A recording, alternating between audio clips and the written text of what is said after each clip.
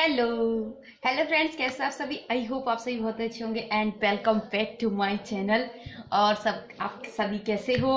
और कैसा चल रहा है आपका Bigg Boss season 12 so so, मेरा तो सीज़न 12 आज का बहुत आज का जो दिन था बहुत अच्छा रहा बहुत मज़ेदार रहा क्योंकि आज कुछ कॉमेडी के सीन्स जो थे बहुत मज़ेदार थे, जिस तरीके से दीपक और रोमिल बात कर रहे थे, श्री की जब बर्थडे सेलिब्रेट कर रहे थे, अपनी वाइफ का या फिर उनको ऐसे ही कैजुअल मिस कर रहे थे तो मुझे बहुत ही वो एक मज़ेदार सा लगा सीन सॉरी रोमिल ने जिस तरीके से बोला कि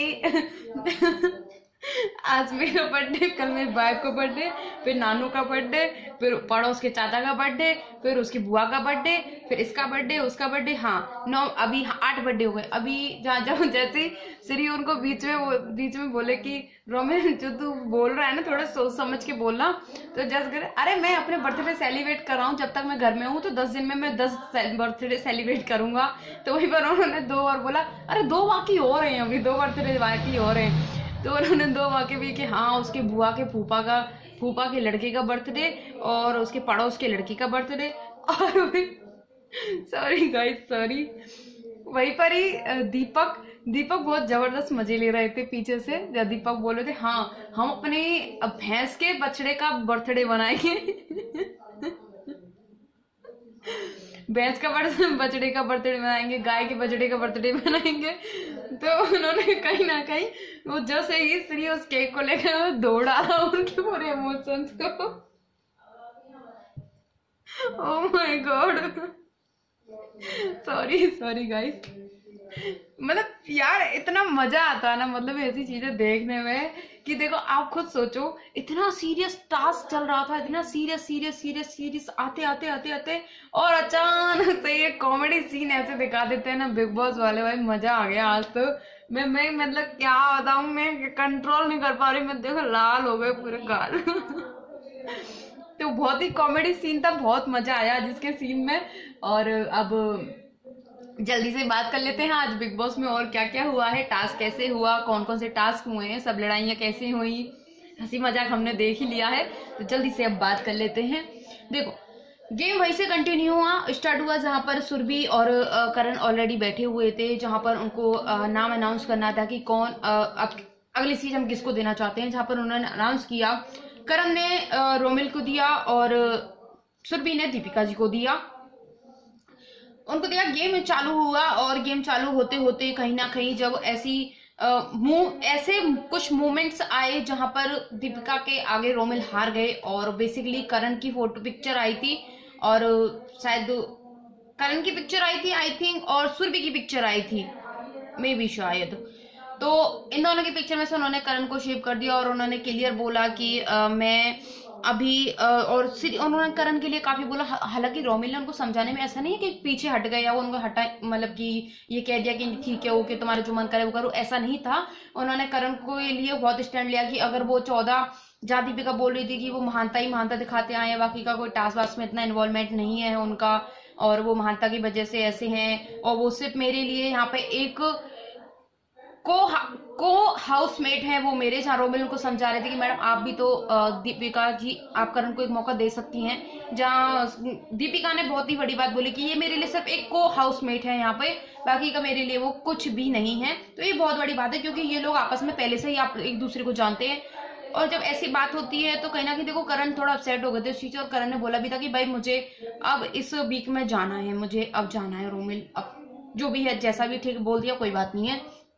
भाई बड़ी देखो दीपिका जी ने काफ़ी बातें बोली श्री करण के लिए कि वो अपने लिए स्टैंड नहीं लेते हैं, वो उन्होंने खुद के लिए, खुद को ड्रामेटिक कहा है और वो खुद ही एक ऐसे हैं जहाँ पर खुद के लिए स्टैंड ले लेते हैं, उनकी वही कैप्टनसी वगैरह वगैरह वो अच्छी नहीं थी। बाकी कसूर भी की, उन्होंने बहुत तारीफ़ की है दीपिका ने। अब देखो वही होता है, जहाँ पर उनको दिखता है कि उनको सपोर्ट करना चाहिए, और कहीं ना कहीं मुझे एक चीज़ बोलू तो सुरभि का जिस तरीके से प्ले किया, उन्होंने इस तरीके से गेम में, मुझे वो कहीं ना कहीं बहुत ही ज़्यादा अच्छा लगा, क्योंकि दीपिका ने उनके लिए बहुत ही सही बात बोली जो उनको आगे फोर्टीन वीक में जाना चाहिए था बिकॉज़ वो बात ये थी कि कोई बंदी अकेली है घर के अंदर, उनको पता है एक ग्रुप अलग से बन चुका है, चार पर्सन का, और एक ग्रुप दो पर्सन का ऑलरेडी बना हुआ है घर के अंदर, और एक अकेली बंदी सरवाइव कर रही है उस चीज़ पर और उसको पता है, उसने उम्मीद नहीं खोई कैसे भी कि मुझे इन लोगों को कन्विंस करते रहना रहना है और मैं कहीं भी हार नहीं मानूँगी, मैं चलती रहूँगी और मैं कहीं ना कहीं अपना ये परफॉर्मेंस जो आया है फिनाले का टिकट जो आया है, मैं इसको जाने नहीं दूँगी कहीं भी। तो उनके डेडिकेशन को देख के गेम में और जिस तरीके से उनकी स्ट्रेटेजी या कुछ भी मान लो, जिस तरीके से वो भोला चेहरा या कुछ भी जिस तरीके से वो कंट्रोल कर रही थी अपने ऊपर या अपने व्यक्तित्व को जो दिखा रही थी या वो थोड़ा चेंज करके दिखा रही थी तो वो हार नहीं मानी और सुरभि सुरभि को कन्वेंस इस तरीके से किया, दीपिका ने इतना ऐसा सपोर्ट किया सुरभि के लिए और सुरभि ऑब्वियसली सुरभि सेव हो गई। वैसे सुरभि फाइनल में जा चुकी है। पहली ऐसी हाउसमेट हैं जो फाइनल में पहुँची हैं, सुरभि, राणा, जो मैंने कल ही बोल दिया था कि सुरभि ही जाएँगी बिकॉज़ आप भी थोड़ा सोचो, इतने टाइम से हम भी बिग बॉस देख रहे हैं, थोड़ा वो समय भी समझ में आता है। जब किसी के डेडिकेशन को इस तरीके से दिखाया जाता है ना टास्क के अंदर। इस तरीके से डेडिकेशन दिखाई देती है ना तो गारंटी के साथ में वो ही बंदा आगे निकल के जाता है। दूसरा टास्क भी हुआ टेलीफोन वाला टास्क हुआ, जहाँ टेलीफोन टास्क में देखो सब जिसको श्री दीपिका को सजेस्ट कर रहे थे कि आप ऐसे ऐसे इस तरह से गणित लगाना अपनी। और दीपक के साथ में भी काफ़ी लोग थे कि तू भाई तू ऐसे ऐसे काउंट करना, ये करना। लेकिन सुरभि ने बिना किसी से बात किए, बिना किसी से बोले अपना माइंड लगाया और पता नहीं उन्होंने सेकंड मिनट पता नहीं कैसे जोड़ घटा, भाग करके और उन्होंने वो मिनट निकाली और उन्होंने बोला था कि नौ सौ नब्बे नब्बे सेकेंड होते कुछ ऐसे, जब नौ सौ नब्बे बोला था, जब उन्नीस सौ नब्बे कुछ ऐसे सेकंड बोला था और बेसिकली वो आज फाइनल वीक में पहुँच गई है पहली हाउसमेट तो अब बैक टू टास्क के बात पर आते हैं। वहीं पर ही देखो बात हो रही थी, लेकिन रोमिल भी कहीं ना कहीं सोचे, उन्होंने रोमिल को बहुत कोशिश की समझाने की, तुम्हारी भी तो सिस्टर रही है, तुम भी तो एक मौका दे सकते हो। जहाँ रोमिल भी कह रहे थे, तुम्हारे भी तो फ्रेंड है, तुम भी तो मौका दे सकते हो। जहाँ उन्होंने को हाउसमेट भी बोल दिया उनको दीपिका ने, कनन को। वहीं पर ही ऑब्वियसली रोमिल के रोमिल हार गए अपनी दलील को और दीपिका जी ने सुरभि को सेव कर दिया। और उसी के ही बाद में आया चेंजिंग वाला टास्क और चेंजिंग में मतलब चेंजिंग वाला टास्क नहीं वहीं पर ही उन्होंने सीट चेंज की और सीट उन्होंने चेंज की सोमी के साथ में, रोमिल ने की सोमी के साथ में और दीपिका जी ने की सुरभि के साथ में। अब ये बड़ा इंटरेस्टिंग था भाई। जैसे ही उन्होंने सीट चेंज की बिग बॉस ने पहले ही क्लियर अनाउंस कर दिया कि कुछ गेम्स के नियम इस तरीके के होते हैं कि उन्हें मानना अनिवार्य होता है। और अगर इस टास्क के दौरान या इस गेम पड़ाव में यहाँ तक यहाँ पहुँच गए हो। अगर आप किसी डिसीज़न पर नहीं पहुँच पाते हो तो स्वामी तो ऑलरेडी जो फाइनल वीक की रेस से वो बाहर हो चुकी हैं टिकट के लिए। और बची सुरभि, उनके पास उनके ऊपर एक खतरे का टैग है। अब जो फ़ोटोज़ आएँगी, वो दोनों, उनके ऊपर भी दो फ़ोटो का टैग है। तो ऐसा डिसीज़न लेके हो सकता था, अगर बिग बॉस वाले ये अनाउंस नहीं करते तो शायद सोमी अड़ सकती थी और वो रोमिल को सेव कर देती, सुरभि को ना करती। तो फ़ोटो आया था सुरभि एंड रोमिल का। अब देखो, इसमें भी बिग बॉस वाले खेले और बहुत अच्छे से खेले। उन्होंने वो चीज़ पहले अनाउंस नहीं की थी। उन्होंने वो चीज़ उसी टाइम पे, उसी तरीके में अनाउंस की कि यार इस तरीके से, क्योंकि सुरभि, सोमी ऑब्वियसली हमें, जब से गेम स्टार्ट हुआ, पूरा कंफ्यूज हमें दिखाई दी थी गेम के दौरान। और साइड गाइस सॉरी मैं पहले आपको कर देती हूँ। इतना ज़्यादा शोर आ रहा है जो बैकग्राउंड में। वो एक्चुअली क्या, बाहर कोई बात कर रहा है और मुझे नहीं पता वो लोग कौन है और बहुत ज़्यादा बहुत ज़्यादा ज़ोर ज़ोर से बातें कर रहे हैं तो उसके लिए सॉरी पहले तो। हाँ तो उनको बिग बॉस वालों को देखो, पहले ही उनको पता था कि सोमी कंफ्यूज है, कहीं ना कहीं अपने डिसीज़न में वो समझ नहीं पा रही अपने माइंड से कि मुझे किसको आगे लेकर जाना चाहिए। जब वो रोमिल को कह रही थी, जब रोमिल को भी उन्होंने बोला कि भाई मैं सुरभि को एक मौका देना चाहती हूँ, वहीं पर ही वो सुरभि में भी कंफ्यूज थी और रोमिल में भी कंफ्यूज थी, लेकिन लास्ट में आकर उन्होंने डिसीज़न लिया। और डिसीज़न से पहले ही बिग बॉस बालों ने अनाउंस कर दिया कि भाई अगर आप किसी सहमति पे नहीं पहुंचोगे तो जिन लोगों की फ़ोटो आएगी, वो इस जो रेस है, ये फाइनल वीक की उससे बाहर हो जाएँगे दोनों ही। अब देखो उसमें क्या था? रोमल की पिक्चर थी। और सोमी की पिक्चर थी सोमी तो ऑलरेडी निकल चुकी थी उस गेम से। आ, उनको कोई उनको किसी का नाम देते उनमें किसी उसका लॉस नहीं था किसी भी किसी भी एंगल से। लेकिन सुरभि का लॉस था बिकॉज़ सुरभि वहाँ बैठी भी हुई थी और सुरभि की वहाँ पिक्चर भी थी स्क्रीन पे। तो ऑब्वियसली फिर भी सुरभि ने अपने खूब डेडिकेशन दिखाई जैसे वो दिखा रही थी और उन्होंने कन्विंस किया सोमी को कि प्लीज़ मेरे से ये रेस मत छीनो मेरे से ये टैग मत छीनो प्लीज़ सोमी सोचने की कोशिश करो मैं आपकी फ्रेंड रही हूँ आपको स्टैंड ली हूँ हर चीज़ के ऊपर। वगैरह वगैरह, ब्ला ब्ला ब्ला करके उन्होंने आखिर में उनको कन्विंस कर लिया और उन्होंने सोमी ने अनाउंस कर दिया कि मैं सुरभि को इस रेस में आगे लेकर जाने वाली हूँ। अब देखो, भाई देखो करण ने जाकर बात की दीपक से कि यार आपने मतलब कि मैं तेरे को पहले ही बोल रहा था दीपक कि सोमी को भेजो, सोमी को भेजो, लेकिन अब देखो क्या हुआ लास्ट में आके। पूरा गेम चेंज हो गया, हम पर ही पलटवार हो गया उस गेम का। लेकिन देखो कुछ चीज़ें बिग बॉस के द्वारा भी जुड़ी हुई होती हैं। बिग बॉस को पता है कि हमें इससे ज़्यादा कंटेंट मिलने वाला है तो वो ऑब्वियसली उसी को ही सपोर्ट करते हैं और उसी को ही पुश कर करके वो धक्का देके निकालते हैं। सोमी का डिसीज़न चेंज हो सकता था, अगर बिग बॉस वाले अनाउंस नहीं करते तो डेफिनेटली वो रोमिल पे ही अड़ी रहती। लेकिन उन्होंने पहले ही अनाउंस कर दिया था उस चीज़ को तो ऑब्वियसली उनको फिर एक डिसीज़न पर पहुँचना था। वहीं पर ही नेक्स्ट में आए एक राउंड और बाकी था, जिसमें आए सीट चेंज हुई, दीपक एंड श्री आए। अब देखो दीपक एंड श्री आए। अब बिग बॉस वाले तो बिग बॉस वाले हैं। उनको पता है कि श्री के लिए तो ये कन्वेंस हो नहीं पाएगा और, इसलिए तो उन्होंने पिक्चर का भी चेंज कर दिया और उन्होंने लेकर आ गए वो दीपिका जी को और श्री की पिक्चर लगाई उन्होंने, जहाँ दीपक ने फिर भी, हालाँकि मानते हैं कि श्री ने पहले ही अनाउंस कर दिया था कि मैं दीपिका जी को ये अपनी तरफ़ से दे रहा हूँ सीट और मैं इसमें मतलब कि अपने आप को जलते हुए देखना चाहता हूँ अपनी बिल्डिंग को। वहीं पर ही दीपक ने कहीं ना कहीं देखो, ये नहीं कहा कि भाई दीपिका को ठीक है, ये सपोर्ट करते मैं भी दीपिका को सपोर्ट करता हूँ।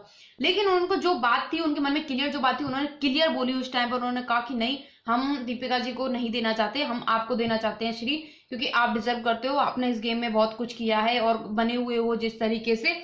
मुझे दीपिका जी का थोड़ा नहीं लगता है कि उनको अभी ये सीट मतलब ये मिलना चाहिए या उनकी बिल्डिंग भेजनी चाहिए। लेकिन लास्ट में आगे जब वही श्री खुद राज़ी है तो दीपक ने कहा मुझे क्या है? जब दीपक वो खुद राज़ी है खुद को नॉमिनेट करने के लिए तो ऑब्वियसली वहीं पर ही दीपिका जी भी सेव हो गई। और उसके बाद में गेम का रिज़ल्ट निकला कि फाइनल वीक की जो टिकट में जो आ, जिनको मिली दावेदार जो बने रेस टू फिनाले के लिए वो बने दीपक सुरभि एंड दीपिका।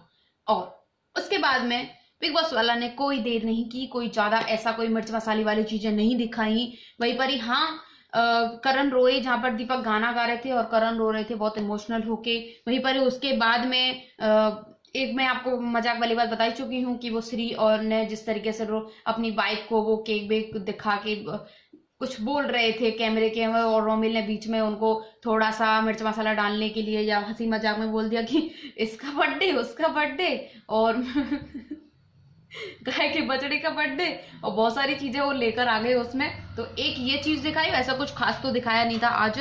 उसके बाद में ही वहीं पर ही दीपक ने फिर से सुबह मॉर्निंग में जब जैसे ही श्री को कोई इंग्लैंड वाले मैच के लिए बात कर रहे थे कि मैंने इंग्लैंड में ये वाले सीरीज़ खेली थी, उसके लिए बात कर रहे थे, वहीं पर ही उन्होंने उनके लिए गाना गा दिया वही केरल वाला लड़का, एक केरल का जो लड़का था, जो श्री के लिए दीपक ने बनाया था, वहीं पर ही इमोशनल हो गए श्री, वहीं पर ही दीपिका भागे भागे आई और उन्होंने उनका टिश्यू पेपर लेकर उनके पहुँच लो, कोई बात नहीं, भाई इस तो के ये, वो, ठीक है, वो जो छोटा सा, हम सोच सकते हैं गैस कर सकते हैं कि उस टाइम पे फिर क्या हुआ होगा।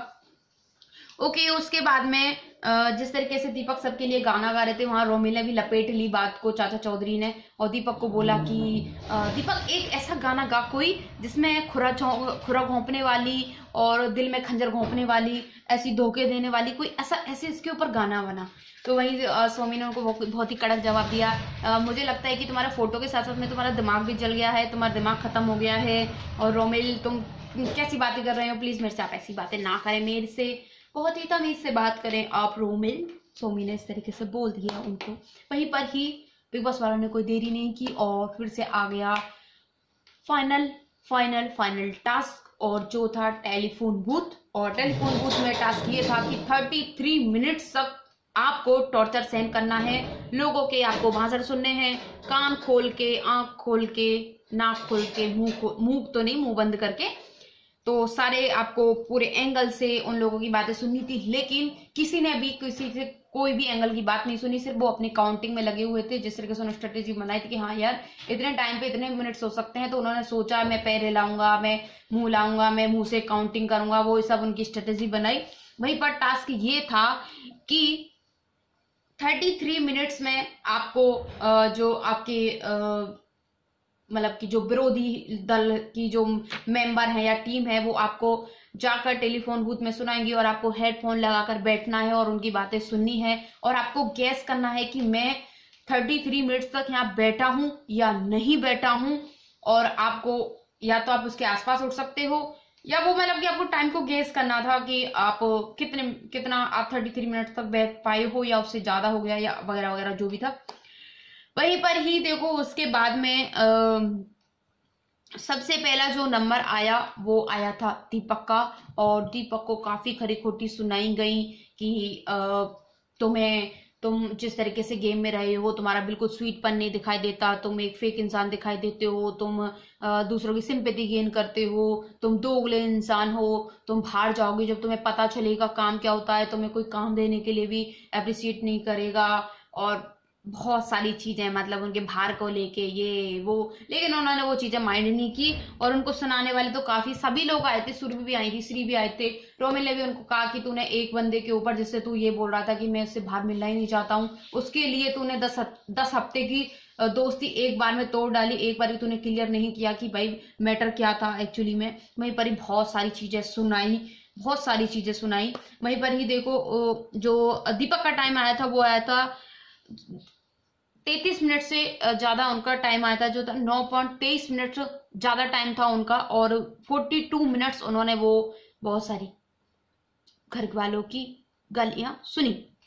उसके बाद में सेकंड नंबर आया सुरभि का, और सुरभि ने बहुत ही अपने हिसाब किताब पहले ही लगा के रखा था लिपस्टिक से जिस तरीके से वो पेपर पे लिखती हैं पेपर लगा हाँ यार, ये इतना इंटू इंटू करके इतनी इतनी मिनट इतनी इतनी मिनट सेकंड इतनी इतनी सेकंड बैठ, बैठती हैं, उन्नीस सौ कुछ ऐसा बोली थी वो कैमरे के दौरान उन्नीस सौ नब्बे बैठती वो वहीं काउंट कर रही थी, लोग उनको बांसर सुना रहे थे। ठीक, सुन भी रही थी, अपना काउंट भी कर रही थी, जहाँ उनको भी बहुत सारी बातें सुनाई कि आप ऐसा एहसान फरामोश हो, आप ऐसा नहीं मानते हो, और वो भज्जी पाजी वाली बात, और भी बहुत सारी बातें आई, रोमिल ने भी बहुत कुछ बोला, सुरभि ने भी बहुत कुछ बोला। सिर्फ़ मुझे ऐसा लगा कि करण सिर्फ़ दीपिका के बारे पे आए थे, बाकी का दीपक और सुरभि के बारे पे नहीं आए थे। मे भी शायद सुरभि के बारे पे भी आए होंगे तो ऐसा तो दिखाया नहीं था उनके उस बीच में। वहीं पर ही दीपक, सोमी, रोमिल, श्री दीपिका सबने सुनाया। सोमी ने भी सुनाया उनको कि मैंने ही आपको टास्क में ये सीट दिलवाई है, लेकिन आपने मुझसे एक बार भी आके थैंक यू या ऐसा वैसा कुछ नहीं बोला। हो सकता है बोला हो, लेकिन बिग बॉस वाला नहीं दिखाया हो। वहीं पर सुरभि को, सुरभि के टाइम आया थर्टी एट मिनट टोटल जो थी पाँच पॉइंट पचास, पाँच मिनट पचास सेकंड पर उनका आया। मतलब पाँच मिनट पचास सेकंड उन्होंने और एक्स्ट्रा भाषण सुने। वहीं पर ही दीपिका जी का नंबर आया और दीपिका जी को तो वाओ क्या सुनाया है मतलब ओ माय गॉड बहुत सुनाया। सुरभि दीपिक दीपक रोमिल सबने बहुत कुछ सुनाया उनको कि आप फेक हो आप दूसरों दूसरे लोगों के लिए बोलती हो लेकिन आपका खुद का कोई स्टैंड नहीं है। वही रोमिल ने जो बहुत सारी चीज़ें क्लियर की कि देखो जो आ, वो वाली बात हुई थी कौन सी वाली बात हुई थी? हाँ रोमिल ने कहा था कि आप जिस तरीके से बोलती हो, आप स्टैंड लेती हो, आप स्टैंड लेती हो, आप सिर्फ़ आप एक ही बंदे में सिपटी हुई हो, आप उसका स्पोक पर्सन हो, आप उसकी तरफ़ से बोलती हो, और जिस तरीके से मैंने आपको आपके लिए जैसे मैंने ये बोला था कि आप एक आपकी कोई हस्ती नहीं है या आपका कोई वजूद नहीं है मैंने उस चीज़ के लिए बोला, बोला था। मैंने शो के दौरान वो चीज़ बोली थी कि शो में आपका कोई वजूद नहीं दिखाई देता है सो में आपका कोई अस्तित्व नहीं दिखाई देता है। मैंने बाहर आपके करियर में क्या है क्या नहीं मैंने उसके ऊपर कोई टॉपिक नहीं छड़ा था लेकिन आपने इस बात को बहुत बढ़ाया और आज तक जिसकी रंजिश आप मेरे से बनाए हुए बनाए हुए हो अभी तक। वहीं पर ही और भी बहुत सारी बात बोली दीपक ने भी बहुत सारी बोली बहुत सारी बातें बोली हैं कि जैसे आप बात बोल रही थी कि मुझे काम नहीं मिलेगा या लोगों को लोग आपको पसंद नहीं करेंगे, शायद आपको एक बार भी लोगों से लोगों के लिए भी कुछ कर लेना चाहिए जो आप लोगों को, वो लोग आपको पसंद करें। लेकिन बहुत सारी चीज़ें बोली मतलब जो भी मन की भड़ास थी लोगों को मौका मिल गया, बहुत सारी बातें बोली, वहीं पर ही देखो। दीपिका जी दीपिका जी ने हार नहीं मानी और वो कुछ ज़्यादा ही शायद खो गई उन बातों में और 12 मिनट वो और ज़्यादा एक्स्ट्रा उन चीज़ों को सुनी। जहाँ पर वो दीपिका और दीपक ये टास्क हार गए और टिकट टू फिनाले की जो टिकट थी, वो मिल गई सुरभि को और सुरभि जा चुकी है फाइनल में। कॉन्ग्रेचुलेशन सुरभि बिकॉज़ आप जिस तरीके से आपने डेडिकेशन दिखाई दो दिनों के अंदर। वाह ओके वहीं पर ही दीपिका को शायद बहुत सारी चीज़ें चुप गई तो वो जाकर रो भी रही थी जहाँ ने उनको हंसाने की कोशिश की, यार बहुत है ना, कोई बात नहीं, होता रहता है, गेम के दौरान तुम मुझे समझाती हो, मैं आपको समझा रहा हूँ। और आप सोच के देखो ना, आपने बारह मिनट आपने और ज़्यादा गालियाँ खाई हैं, गालियाँ सुनी है। सोचो सोचो, श्री बोल रहे थे, सोचो। वहीं पर ही रोमिल ने कहा कि रोमिल आए और रोमिल ने श्री को बोला कि, आपको पता है चौदहवें हफ़्ते में चार पर्सन मतलब जो हैप्पी क्लब थे, आज भी उसी टेबल पर बैठे हुए हैं। एक टेबल पर वो बैठे हुए हैं। सोचो। हैप्पी क्लब मतलब है। रोमिल सोच रहे हैं कि मेरे जाने से पहले पहले उनको भी शायद एहसास हो गया कि मैं जा सकता हूँ। रोमिल के जाने से पहले वो सोच रहे हैं, रोमिल की कहीं ना कहीं ये जो हैप्पी क्लब है, फिर से थोड़ा जुड़ जाए, आपस में बातचीत हो जाए, लेकिन सुरभि का कोई रेस्पॉन्स नहीं था, जब वो सुरभि को बहुत ही बात बोल रहे थे मतलब सब बैठे हुए थे, वहाँ हैप्पी क्लब के मेंबर्स और करण भी थे, वहाँ जब बोल रहे थे, रोमिल ने कहा कि, सुरभि, आप अभी इस हफ़्ते में कैप्टन हो गई हो, आप टिकट टू फिनाले का टिकट जीत चुकी हो, लेकिन मैं एक बात बोलना चाहता हूँ कि सोचकर देखो आपकी चाहे हमारा अभी हैप्पी क्लब नहीं है, आप मानो चाहे मत मानो, लेकिन मैं मानता हूँ सोचो कि चौदहवें हफ़्ते में चार पर्सन जो हैप्पी क्लब के थे, वो आज भी एक ही टेबल पर बैठे हुए हैं, एक ही जगह पर बैठे हुए हैं। ये हमारे लिए बहुत बड़ी बात है और हमारे हैप्पी क्लब का होना भी बहुत बड़ी बात है। कहीं ना कहीं मतलब कि वो हैप्पी क्लब को जोड़ना चाह रहे हैं, लेकिन अब जो टूट गया, जो टूट गया। रही मन धागा प्रेम का, मत छोड़ो छुटकाए, टूटे से फिर ना जुड़े जुड़े गांठ पड़ जाए। तो ये गांठ मुझे नहीं लगता खुलने वाली होंगी। सो so, ये सब हुआ आज और बिग बॉस ने फिर अनाउंस किया नॉमिनेट पर्सन जिसमें नॉमिनेट हो गए नॉमिनेट है अभी घर से करण रोमिल सोमी दीपिका श्री दीपक। और कल कल आई हैं आरजे मल्लिका सब जानते होंगे उनको। बहुत ही मस्त है बहुत ही एकदम कॉमेडी लेकर आती हैं। वहीं पर ही जहाँ कल होंगी लाइव बातें अपने अपने फैंस के साथ में, उनके जो, जिनके घर में जितने फैंस हैं, जिनको लोग पसंद करते हैं, उनसे वो बातें करेंगे, उनसे अपने जो क्वेश्चंस हैं, उनके मन में जो जब सवाल हैं, उनसे उनको क्लियर करेंगे, उनका उनसे जवाब मांगेंगे और देखते हैं किसका क्या जवाब आने वाला है, जहाँ पर जोड़ी बनी है। रोमिल और दीपिका की जोड़ी गई है तो क्या गुल खिलाएगी ये जोड़ी और क्या होगा क्या होगा लाइव लाइव दौरान? लाइव क्या होगा वो कल पता चलेगा, कौन से क्या क्वेश्चन पूछेंगे, वो ज़रूर डिस्कस करेंगे हम लोग। और अभी के लिए आपको, मेरा क्वेश्चन यही है कि आपको कैसा लग रहा है सुरभि फाइनल में पहुँच चुकी हैं। और रोमी जहाँ कोशिश कर रहे हैं हैप्पी क्लब को जोड़ने की, आप उसके बारे में क्या कहते हो? और करण का आप, करण के लिए आप लोगों का क्या कहना है? क्या सोचते हो आप करण के लिए? वो भी मुझे बताएँ। और जिस तरीके से रोमिल और दीपक की एक कॉमेडी वाली जो साइड दिखा रहे हैं बिग बॉस वाली बीच बीच में, वो आपको कैसी लगी? कैसा मज़ेदार था कि नहीं था? और अभी के लिए जाना तो पड़ेगा, जाऊँगी नहीं तो आऊँगी कैसे? तो अभी के लिए bye bye good night sweet take care और सर्दी है, बच के रहो, अच्छे से कपड़े पहनो, घर में सेफ़ रहो और बाय